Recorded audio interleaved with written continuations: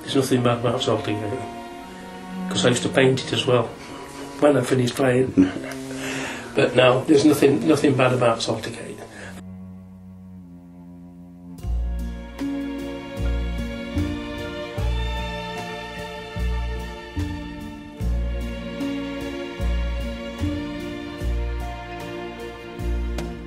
And uh, there used to be a ballpark where the field was warm and green.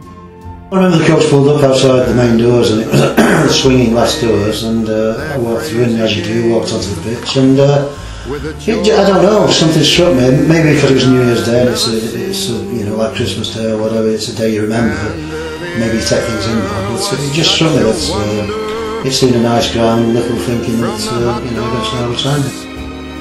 And the beer. Yes, there used to be a ballpark. When I say I love playing at Saltergate. Yeah. It was my Wembley really, Saltergate. Especially being, you know, there from a youngster, 14 years old. Yeah, yeah, had some great times. and a great big Fourth of July.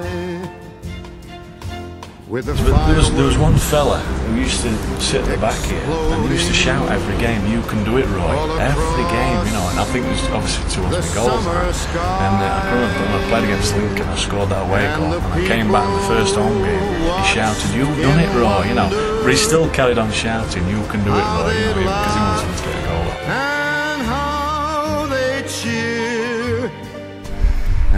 No, I've got a great feeling for the club straight away. I mean, be obviously, in appearance, you're looking and just thinking probably like most away teams did when they pulled up, let's get in, get done, and get away. But um, obviously, once you get inside the building, it's uh, there's a great warm feeling in there. Obviously, I met John to Buckingham find and uh, were very keen for me to sign and, made me welcome. And uh, I, my decision was pretty much made on that day. Um, and like I say the again, in my, my short time I was team here, just it was, isn't it was a great club to be at, probably. You know, one of the most enjoyable. And the new team hardly tries. You could always hear the fans very close. You know, you, the fans were very close to the players. The players were very close to the fans. So cloudy. Um, so yeah, it, it, was a ground with obviously with character, and it was a ground that everyone kind of came to love.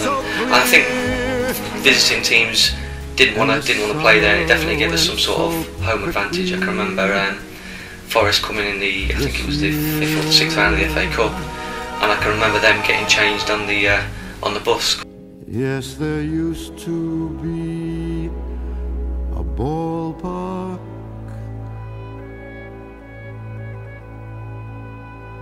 Right here.